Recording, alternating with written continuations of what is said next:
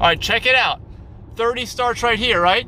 But look, I'm already I'm already locked at 35. I was locked at uh, 45, and it slowed me down in advance. Okay, we've been waiting for this, right?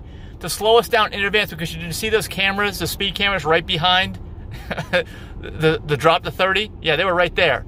Well, on 2019, wait, 2019.24.4, I believe, something like that. Yeah, 2019.24.4 and apparently it's here now.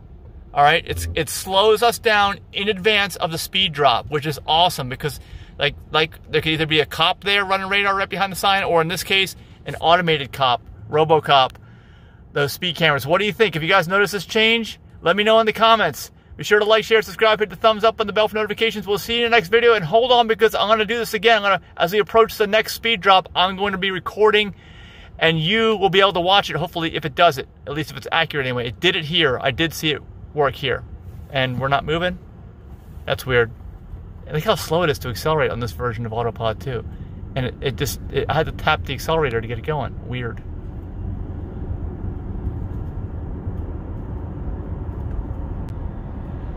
a little filler clip here i i, I was set at 45 oh look it's bumping me up in but in advance of the 40 I guess that's okay.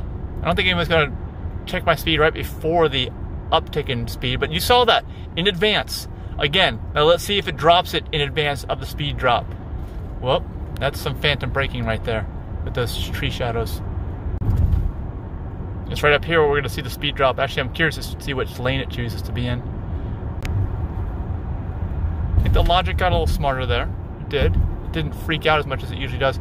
Okay, speed drop right up here Let's see how it handles it.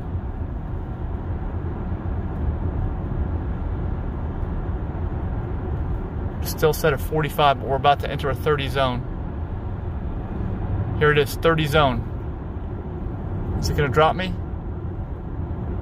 Uh, it doesn't even know about the zone, I guess. Well, it's not consistent, that's for sure. It doesn't have all the information. Should have dropped me to 35 right there.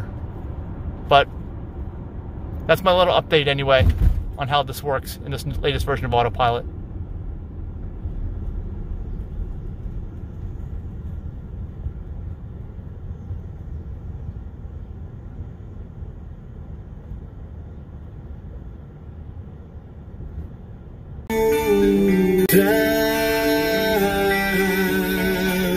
Why